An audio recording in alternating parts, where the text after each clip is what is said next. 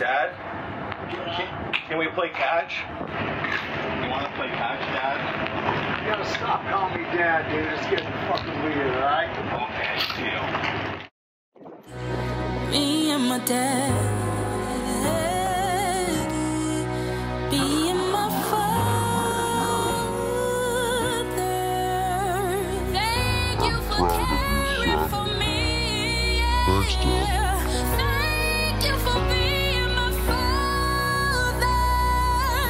Is it just me or is all this father son stuff chubbing you out?